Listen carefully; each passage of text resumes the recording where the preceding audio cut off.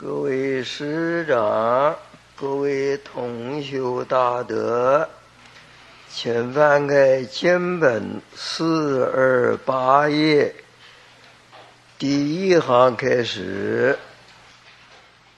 我们先看一段经文：若有女人设欲求男，礼拜供养观世音菩萨。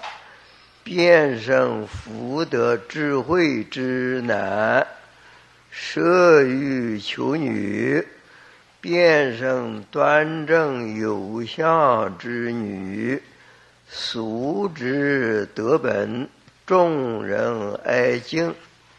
我们从这里开始引读。嗯，这继续前面呢？讲的那个七种灾难，前面讲七种灾难是怎么来的呢？就是由于我们凡夫众生啊，啊造的这个这个一个恶业，也就是说，七种灾难的来源。是有这个起的那个火火很多了。简单的讲啊，最简单的讲就是贪嗔痴三毒。那么这个，如果说是人到世间来，不想遭遇这个七种灾难的话，自己就要把这个贪嗔痴啊，不让它起现行。那么这个上回讲过了，那么今天接着讲啊，呃，求男求女。那为什么讲过七种灾难之后啊，接着又求男求女？啊，这个与前面又有关系的。那就是说，前面讲这个，呃，免除这个灾难呢，就是要啊，最好是能够断贪嗔痴。我们凡夫众生要断贪嗔痴不容易的，能够把这个贪嗔痴扶得住，不让它起现行，这就很好了。在这里是讲这观世音菩萨普门品啊。其实讲这一品的话，观世音菩萨以他的大的威神力量啊，来加倍我们啊凡夫众生。我们要念观世音菩萨名号。就可以把这个灾难呢，能够呃转转移掉。转移之后，最重要的一方面，自己还是要把这个贪嗔痴啊，把它控制住，不让它起来。这是两种方法。那么就这两种方法来讲，《法华经》啊，它讲有四悉檀的。四悉檀其中两种啊，一个是对峙的悉檀，再呢就是第一的悉檀，啊，悉檀就是就是布施啊，把这个法施给学佛的人呢。那么前面讲的就是，那么那个念观世音菩萨名号，自己再把这个贪嗔痴啊。扶住，不让他起来，这就对峙西谈了。对峙为什么呢？我们起贪嗔痴是恶，是罪恶的，这是是一种烦恼啊！啊，用这个菩萨名号，那么可以转，这就对峙。那么再呢，就是第一西谈，嗯，第一西谈就是讲到。最彻底的，嗯，最彻底的呀就是那么真实的，那就是把这这里所讲的这个义理呀，讲到本性上去，那就真实的。第一义就是叫真实的意思。那么下面呢，在这个就讲第一了。那么第一的时候啊，他经文呢要先先讲这个经文，先把经文这个文字啊先解释之后，然后再讲其中的那个真实的道理。经文里面讲，若有女人呢，就是女子啦，舍欲求男。那么假设他要求生一个男子，那么这个怎么办呢？要礼拜供养观世音菩萨，变身福德智慧之男。啊，他要。礼拜观世音菩萨，供养观世音菩萨，他就生了生男了。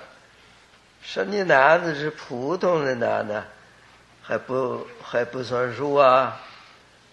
嗯，假如这个是那个男子这个不好，不孝顺，或者是做这些坏事情，那要那个男子有什么用啊？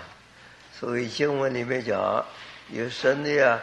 福德智慧之难，那么求观世音菩萨，观世音菩萨啊，就送给你这样的有福德、有智慧的啊这个男。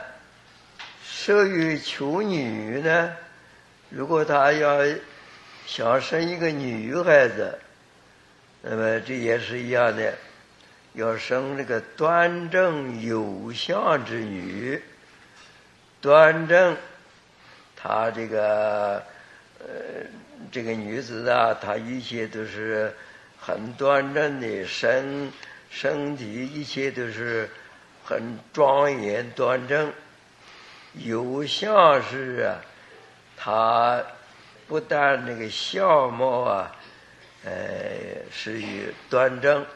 而且他有礼貌，有像这个代表他有呃有呃知道这个礼，呃有礼貌的有这样的女子。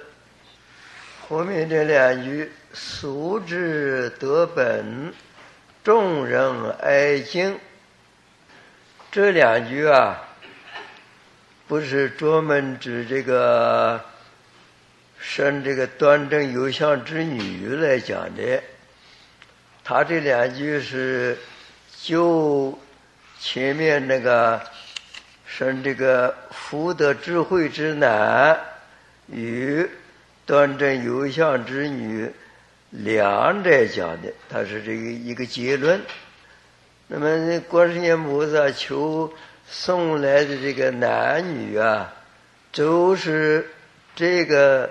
男子、女子都是素质德本呐，在过去都是培植了很好的道德，那个德本就是有善根呐，众人爱敬，那么呃受到众人呐对他的这种爱护、尊敬。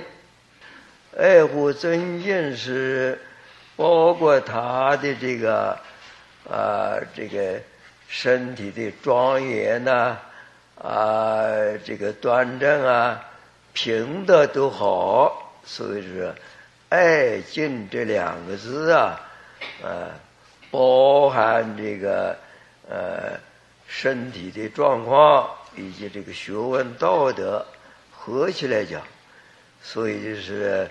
呃，男子女子合起来都是素质德本，那么到世间来呀，那么众人对他都有爱敬。这一段经文一开始就讲设有女人，就是结婚的女人呢，她要求男求女。为什么单提女人呢？这就是对对峙的意思来讲。一个女子结婚之后啊，如果呃生育上面呢，也呃生不到男子，女子也没有，这个就是在呃就一般世间法来讲啊。这女子是感觉很苦、很苦恼的事情。为什么呢？在这个就世间的一般的呃人的这个观念里边呢，总的要要有这个儿女啊，才有能够继续继续下去啊啊，所以才有这个呃。这个无论是在印度，是在这个中国，都是有啊那个这个叫做传宗接代的这个观念呐。所以，专指女子来讲的，这是世间所求的。观世音菩萨到世间来，当然他主要的任务啊是来。啊，帮助西方极乐世界阿弥陀佛到这个世间来呀，来这个接引众生啊。那么他来接引众生，要恒顺众生，要顺着世间众生的呀，这这种这个所求的。那么世间众生有求，当然他要。有感有应的，那么这就是就世间法来讲啊，观世音菩萨啊，只要女子啊求男求女啊，要礼拜供养菩萨，他就能如他的这个啊所求的意思。但是呢，要讲到这个依照佛法来讲啊。呃，那这个又是一种讲法了。就佛法来说，有儿女啊，跟这个没有儿女啊，并没有什么这个分别在哪里。有儿女，有些修行人呢，那个儿女反而还是很多麻烦的。呃，儿女生下来。呃，从生下来到养育、教育，那个都都很费事啊。嗯没有儿女，那么自己好好的修行，那就更好嘛。这就佛法来讲，从这个两方面意思来讲啊，才会讲得圆满。嗯，这个这是就这个对峙来讲，对峙的时候啊。是这个想法，再从这个第一来讲，第一就是讲到真真实的道理了。讲到真实的道理呀，这个普门品在《法华经》里边，呃，虽然是流通分，但是这个流通分呢，为什么？在这里，它是主要的呀，是要把这个《法华经》能够流传到后来，那么一直有流传在世间呢，让世间的众生啊都能够闻到这样的妙法。那么就这个意义来讲。呃，观世音菩萨普门品呢，他在这里是讲的要送给求的人呢，有呃这个福德智慧之男，端正有相之女，有这个什么呢？这就是啊，有所比喻的话，比喻什么呢？男子啊，性情比较动，好动的；女子啊，性情比较安静。动呢是代表智慧，这个安静那个有定力啊，代表有定功夫。所以智慧与定功夫啊，合起来讲，这才是完全的。有智慧有定功啊，那么这就是，就拿中国的这个学术来讲，就是阴阳和谐呀。嗯道家也讲呢。调和阴阳啊，儒家以及这个中医都讲协理阴阳，协就是协理就调和调理呀，调和的阴阳，调和阴阳就是定与会平均。那么了解这个定位平均呢？这就是啊，这个男子、女子都是能够有用的，嗯，有用什么呢？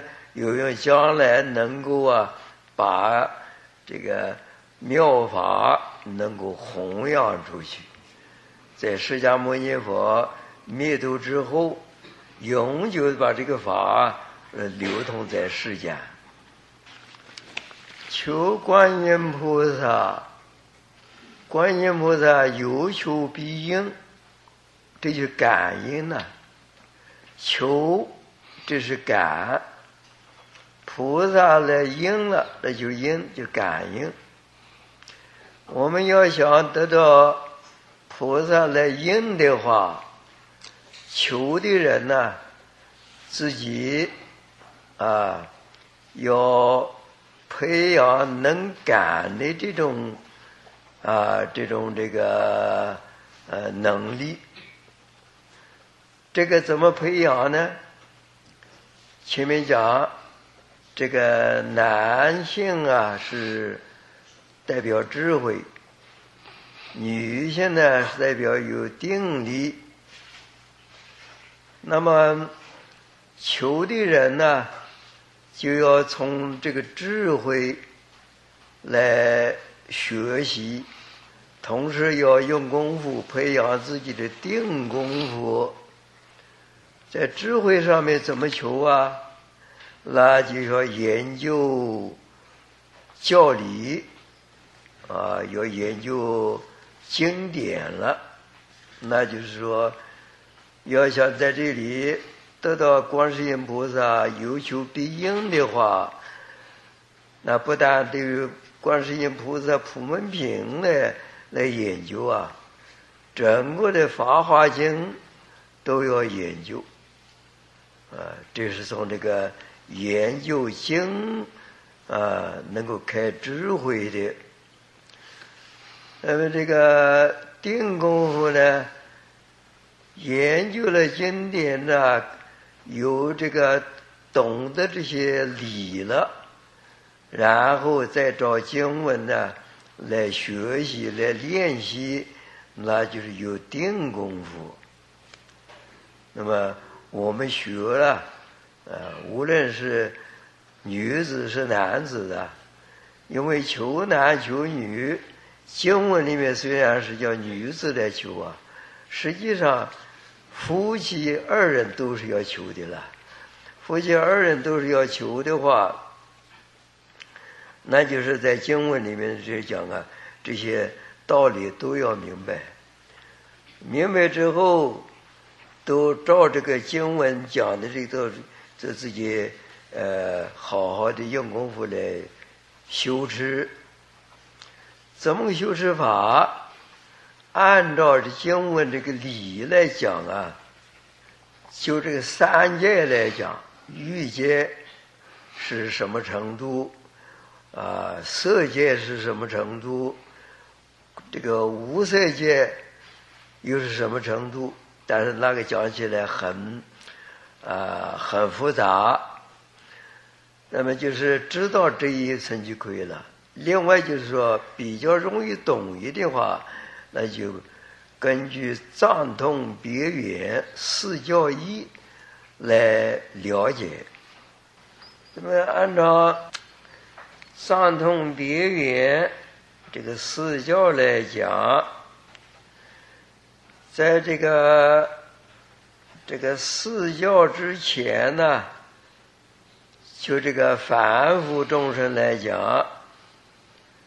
三界，三界之内，就是学到四禅定的时候，遇见遇见是遇见男子是有智慧，没有定功夫，那个男子是狂，啊是无色界呢，比如那个女子啊，有定，没有慧，这是。这个女子是愚痴的女子，到了禅天呢，修到四禅定的那个，那是定慧都是平均了，这是可以说是有福德男，有端正女，但是这种的这个福德男。端正女啊，不能破火，现实活他破不了，他是没有五漏的那种力量。这样有这样的男男女啊，没有用处。这就三界比喻来讲，那么再就这个四教来讲，藏教、通教。通教有小乘，有这大乘，它是通两方面的。就这个藏教呢，纯粹是小小乘教了。通教里边也有小乘教啊。就这两件小乘来讲，声闻缘觉，他断了见思惑，证到罗汉果了。那么这个就男子来讲，他可以办事情；女子来讲，那么他是啊，可以得到无漏法了。但是呢，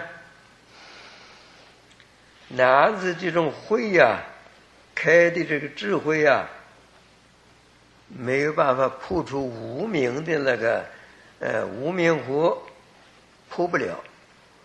破不了，他还不能真正见到佛性。所以男子用处还不大。女子呢，她虽然有定功夫啊，偏于定的这一方面呢，她没有中道，生不出一个中道子来，这也是没有大用。要到什么时候呢？别教菩萨。别教菩萨到了初地，正到初地的那个，到那个地位啊，他这个男子的这个智慧，女子的这个有了这个定功夫、定慧啊，都能够呃具呃都有了，可以啊成为。真正的这个男子女子，但是这个没有圆满，逼得到了这个圆教菩萨，圆教菩萨到了初住的这个这个境界，无论是男子是女子，他这个定慧啊，都具备了，都圆满了。这才是啊，真正的福德之男，端正有相之女。这是讲到第一呀，有了求来这样的福德男智慧，这个端正有相之女啊，他可以到这个后来呀，把这个妙法能够弘扬出去。那么求观音菩萨，求男求这样好的男子，求女呢也是求这样的。这样好的女子啊，那么在求的人来讲，无论是是妻子是丈夫，他本身呢，要能感到菩萨来应，自己也能够感的话，那就是多研究这个教理，也在这个。行修持上面呢，照这个教理啊，来来用功夫来修行。这个单方面这样做啊，还这个能力还不够的。那必得要你礼拜恭敬啊，供养观世音菩萨。前面是讲用口业啊，用这个意业。这里是礼拜供养啊，这是用身体呀、身业啊。只要你求的人这样礼拜供养观世音菩萨，那菩萨就来感，就来应了。那么为什么只在别的品里没没有说，在观世音菩萨普门品里面才用这个？啊，礼拜供供养，才能能够得到菩萨来应呢。要知道，观世音菩萨不是普通的菩萨，观世音菩萨根据这个这个千手千眼的这个《陀罗尼经》里面所讲的这一尊菩萨。在无始劫以来啊，就成于佛了，已经成佛了。成佛的他的名号啊，叫正法明如来。那么，但是这一尊这位菩萨，这这个呃，这一尊佛正法明呃如来呀，他这个慈悲心呐，非常。深重，可以说就是大慈大悲呀，他就是成了佛的呀。他的要愿意到世间来，把这个佛的身份隐隐藏起来，用菩萨的身份到世间来呀，度化众生，而且。他现在在西方极乐世界，是帮助阿弥陀佛了，到我们这个世间来，来接引众生。所以我们了解啊，求的人不是求别的普普通的菩萨，是求这一座普普门品的观世音菩萨。他是已经是早就成佛了，所以求他，他一来应，就有那个那么大的这个维生的力量，你有求就能够求得到。呃，下面讲无尽意，呃，释迦牟尼佛就叫这个无尽意菩萨说。观世音菩萨有如是力啊，有这样的大的慈悲的力量啊！若有众生，他要这个有所求的话，他就要恭敬礼拜观世音菩萨，福不唐捐呐，所得的这个福德。不会唐捐的，唐捐就是啊，捐弃了，好像是没有用了，不会的。只要众生恭敬礼拜观世音菩萨，他这个呃不会这个呃虚妄，不会变成虚妄，不会呃变成没有的，而一定呢，他的这个福德了，所得的功德了，一定存在。这个意思。就是讲啊，我们求呃观世音菩萨，不但是求这个福报啊，那么所以福不唐捐，就求的人来讲，他虽然是求求有男子女子啊，那么这个在推广的来讲。啊，把这意思啊推广来讲，因为按照前面呢第一义来讲的话，那么连这个智慧也包含在内的。那么即使福与智慧都包含在内的话，不唐捐呢，就是你的智慧。呃，这个福报啊，统统在在内的，那就说是，只要众生恭敬礼拜观世音菩萨，啊，这个福报与智慧全部都有的，那你这个恭敬礼拜不会空拜了，拜的话就有就有这个。呃，福报与智慧，这叫不唐捐。这个福不唐捐这一句话，这个注释的再加上注解，这更好。注释注解怎么呢？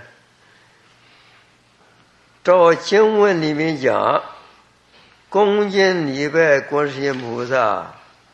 福报唐捐一定有的了，但是也有啊，像观世音菩萨恭敬礼拜呀，但是求不到也有的，或者求到了，不是福德之男，啊，端正有相之女，那就没有求到，没有求到啊，就是讲啊。菩萨是平等的来护念众生，平等的来，呃，那个来应众生所求，但是没有求到那个理想的男子女子啊，这是求的人。他的这个基呀，根基呀，求的人根基不是一同，不是完全一同等的了。求的人根基有浅有深，浅的根基呀，他求求不到那样那么理想的那样男子女子，那么善根很深的。他可以求到，呃，就是这个注解呀，就是解除很多人的疑问。那么下面呢，是故众生皆应受持观世音菩萨名号，在释迦牟尼佛又叫无间一佛的说。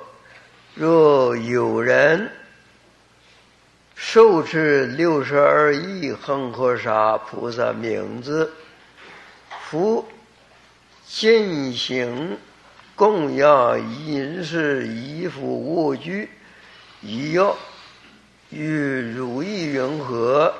是善男子善女人功德都福？无尽一言甚多。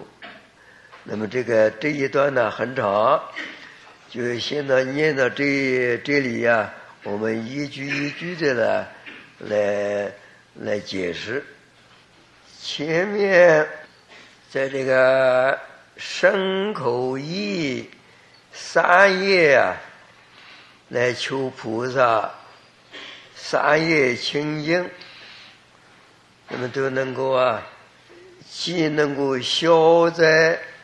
消其中灾，又能够求男得男，求女得女。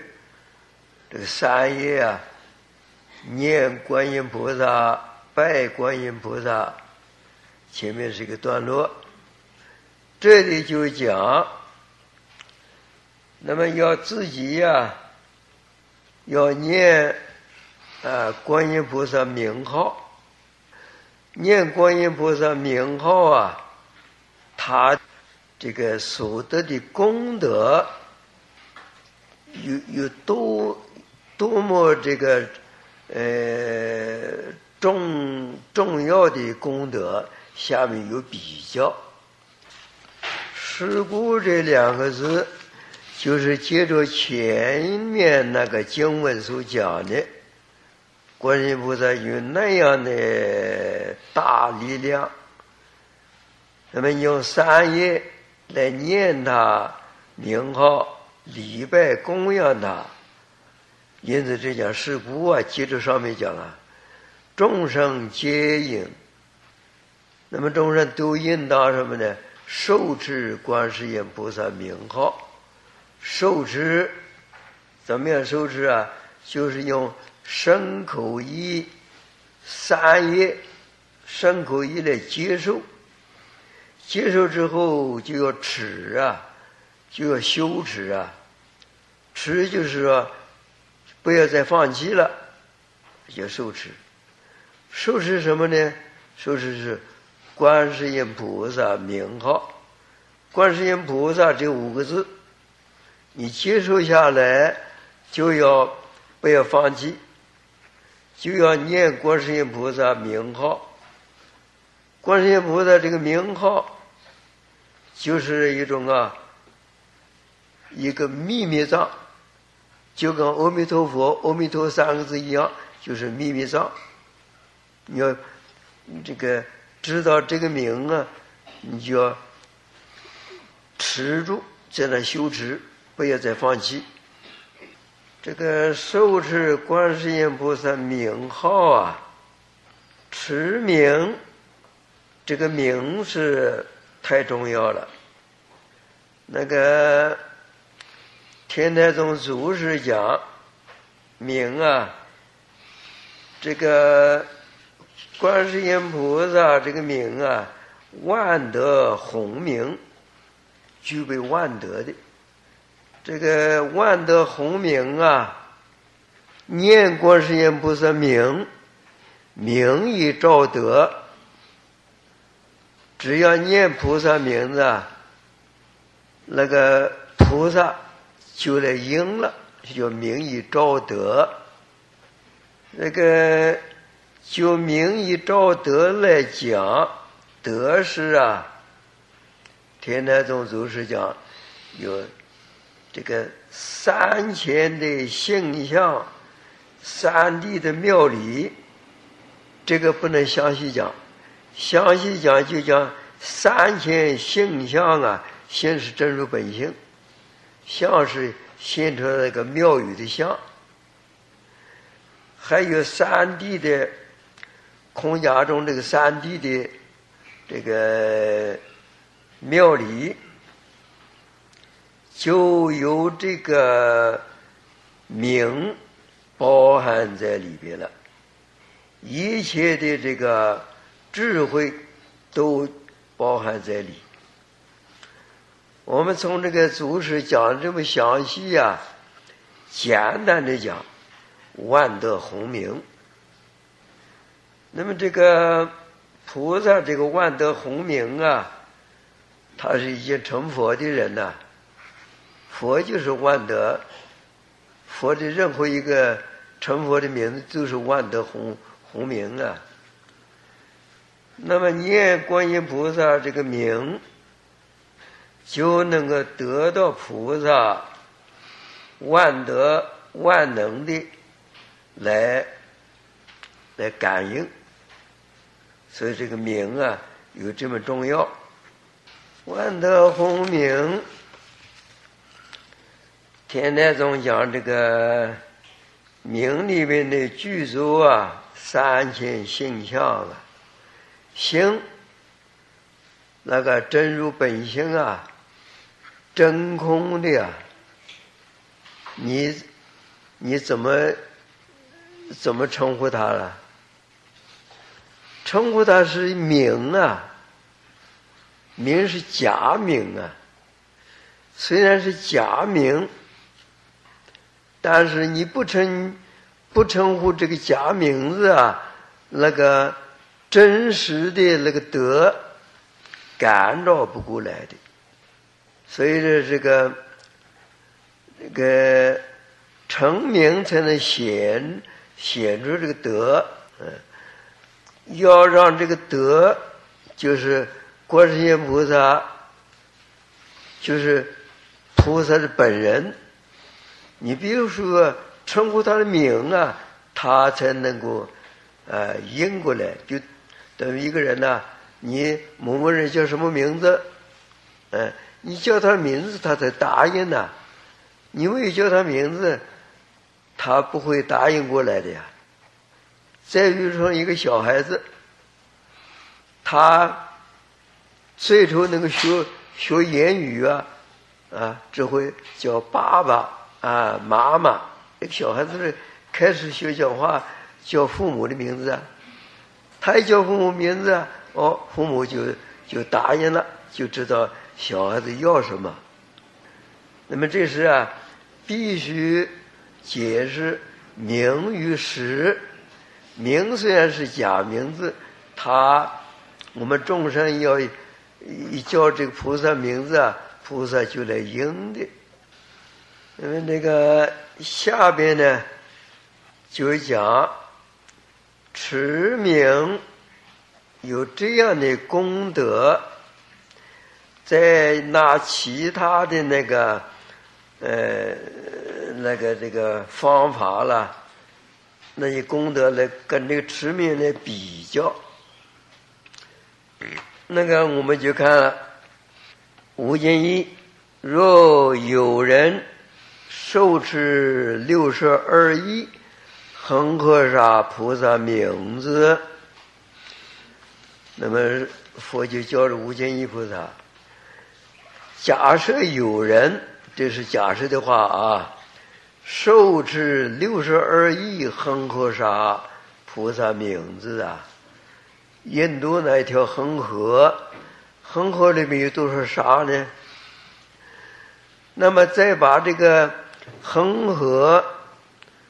这个数目再变成六十二亿，就是六十二亿这个恒河里面的沙，那么的菩萨的名字，你受持那么多的菩萨名字，又呢进行供养饮食衣服卧具医药，进行就是一直到老。就一个人生呢，这一生来供养那么多的呃菩萨，呃这个供养的饮食、衣服啊、卧具，叫四时供养，还有医药。这个呢，对于法身来讲不需要，但是就应生来讲。就应化身来讲，应化身的菩萨需要的，所以呢，你供养这么多的啊衣服啊饮食卧具医药，佛就问见一无间一菩萨：如一意云何？你你想想看，是男子啊，善女人，这样的男子女人呐？他的功德多福呢？他功德多不多呢？吴金一说甚多啊！师尊呐。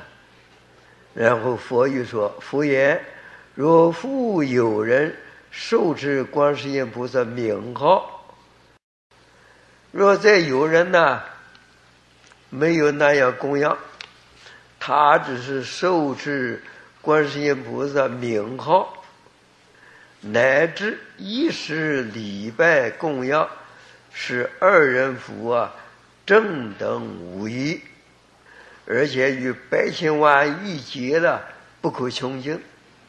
这一段经文呢，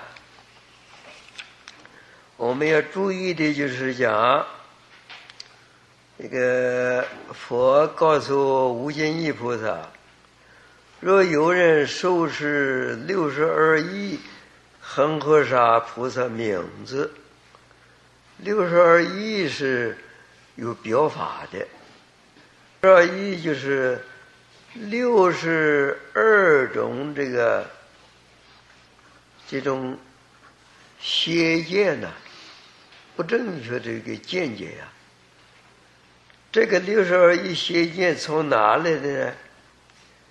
就是在见识火里面偏见，执着这个身身体啊。有短的，有长的，呃短见、长见，还有呢，有无、短长有无，这四种边界呢？边就是不正啊，不正的就边界呢。有这个四种边界，然后把它推广来讲，就是六十二种这个。这个邪见，我们凡夫众生啊，都有这个六十二见呐。菩萨呢，菩萨就是把这个六十二见，从凡夫菩萨都是从凡夫修成菩萨嘛。不但菩萨，佛也是这样啊。六十二见转成为菩萨。那么这个具有六十二见，就是凡夫众生，把这个六十二见呢转成正知正见，换句话说，把四种边见都是转转成正见了，那就成为菩萨了。那么这个这个六十二亿恒河沙了，那些菩萨就是表法。那些菩萨都是从那个六十二的这个边界呢转过来的，所以后面讲，释迦牟尼佛告诉无尽意菩萨，无尽意菩萨说是那这个受持那么多的菩萨名啊，又那样尽尽心术来供养啊。菩无尽意菩萨那个功德很多很多了，然后师尊呢是一个佛，就告诉他：若再有人受持观世音菩萨名号啊，甚至于不必讲长时间，就是一时候礼拜供养，这两种人呢，一个是指前面啊。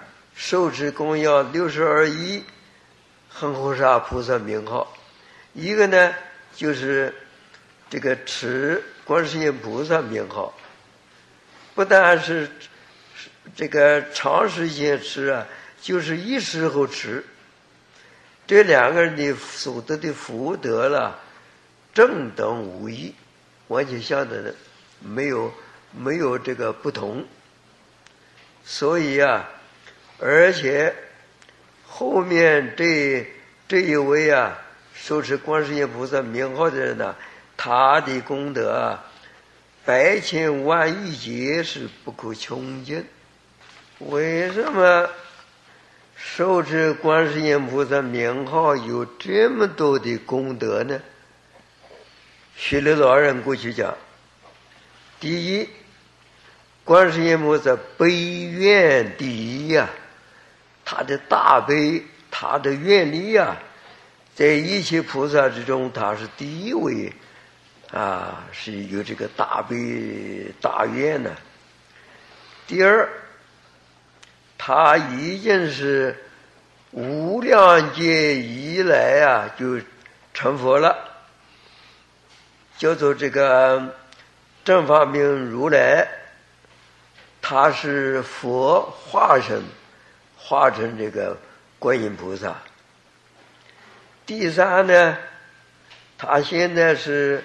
在西方极乐世界，帮助阿弥陀佛到这个世间来呀，来接引众生。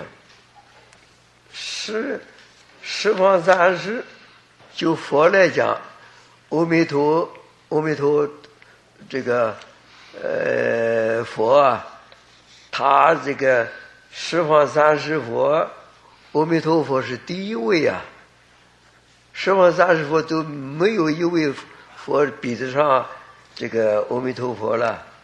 那观世音菩萨既然是阿弥陀佛啊，这个一个辅一个辅助的菩萨，当然也是啊一切菩萨之中这个第一位。再呢，将来。阿弥陀佛，他这个发愿呢满了圆满之后，他要退位。极乐世界，阿弥陀佛退位的时候，那个世界啊，就由呃观世音菩萨来接任。观音菩萨在世，呃阿弥陀佛一退的退休的时候啊，他就接任了极乐世界的佛。所以名号啊，有这么的这么重要啊，功德有这个是说都说不尽的。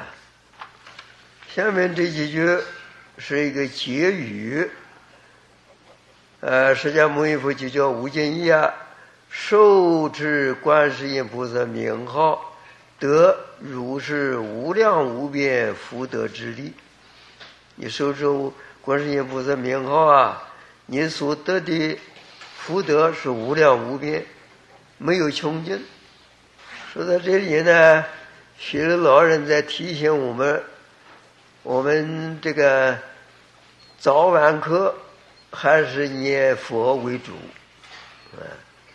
那么这个平常啊，这个有求的时候念观音菩萨，就是念有所求的话，念阿弥陀佛也是。